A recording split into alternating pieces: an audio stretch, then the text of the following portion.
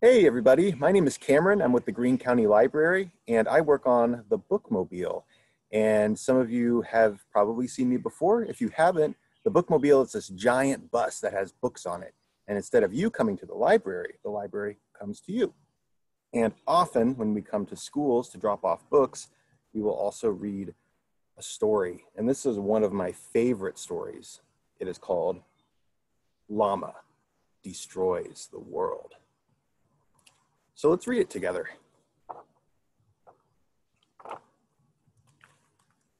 On Friday, Llama will destroy the world. I am Llama, proclaimed Llama. Monday. On Monday, Llama found cake, piles of cake, more cake than any llama should ever eat. Dat, said Llama.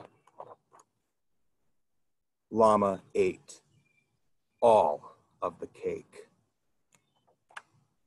This was his first mistake. Burp. It was an honest mistake. It was a delicious mistake. It was one of those mistakes that leads to more mistakes and eventually the ultimate doom of everything. Tuesday. Tuesdays were for dancing, so Llama put on his dancing pants. The pants did not fit he was still full of cake. But he never danced without his dancing pants. They made his butt look groovy. So Llama huffed and puffed and squeezed and stuffed himself into the pants, and this was his second mistake. And then Llama danced. He jigged, he tangoed, he cha-cha'd real smooth. His rhythm was perfect. His moves were precise but the pants never stood a chance. Rip. The rip was thunderous. It shook the house, the trees, and the mountains. It shook the very fabric of the universe. The cosmic vibrations from the ripping pants were so mighty that a black hole tore open in space. Wednesday. On Wednesday, Llama found the black hole. Dat, said Llama. He had never seen a black hole before. He didn't know what it could be or what it could do. But Llama was a llama of science. He knew the answers were out there waiting to be discovered. See, he's got all of his little friends. They're going to go find the answers. Llama read books. He ran complex experiments. He debated with the greatest minds and thinkers he could find. He found a pig and a bunny. And then he analyzed the data and came to a well thought out conclusion. Dat, said Llama wisely. Instead of warning the world of its imminent doom, Llama decided to do something more important. He made a bologna and cheese sandwich with extra cheese, and this was his third mistake. Thursday.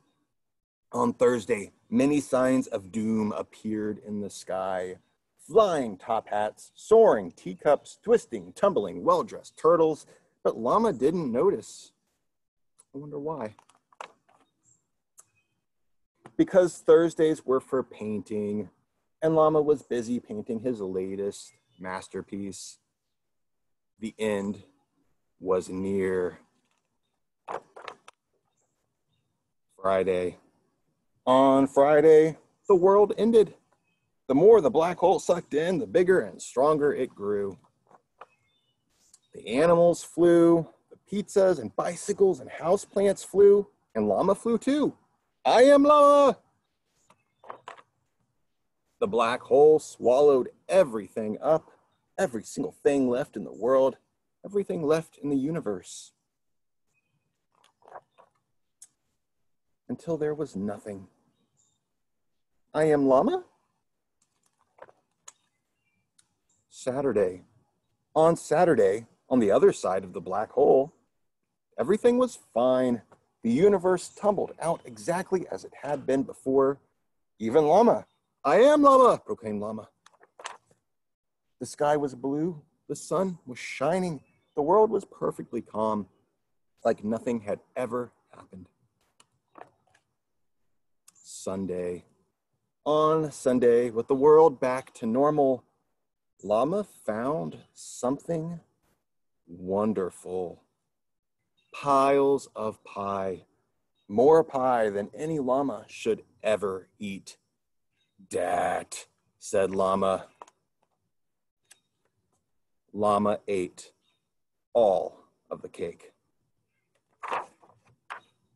The end. Thank you so much for listening, guys. I hope to see you very, very soon on the Bookmobile. Hopefully, we can get back soon. We miss you. Bye.